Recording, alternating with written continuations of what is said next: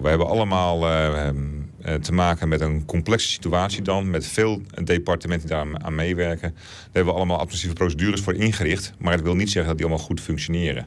Nou, zo'n oefening test dat altijd. Uh, we hebben in het Engels een credo daarvoor, no plan withstands reality.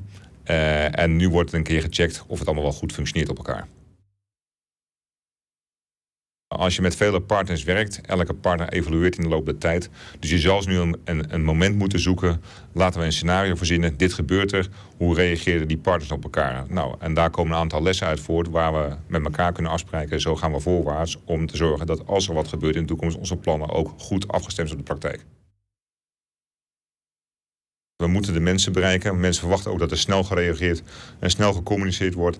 Alleen is een complex veld, want uh, wij hebben natuurlijk een bepaalde verantwoordelijkheid en andere spelers hebben een bepaalde verantwoordelijkheid. Dus je kan alleen maar dat berichten waar jij verantwoordelijk voor bent, want je hebt het totale plaatje daar niet over. Dat moet je dus ook met elkaar afstemmen.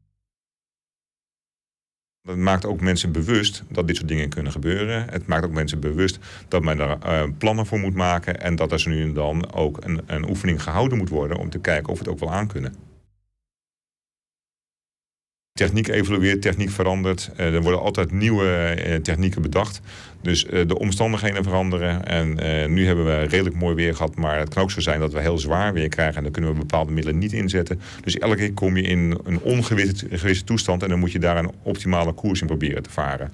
Nou, dat, een oefening leert mensen van... Nou, met hindsight zou dit misschien handiger geweest. Of deze middelen hebben we niet. Misschien moeten we die gaan aanschaffen. Nou, dat soort discussies zijn prima gevolgen van een oefening.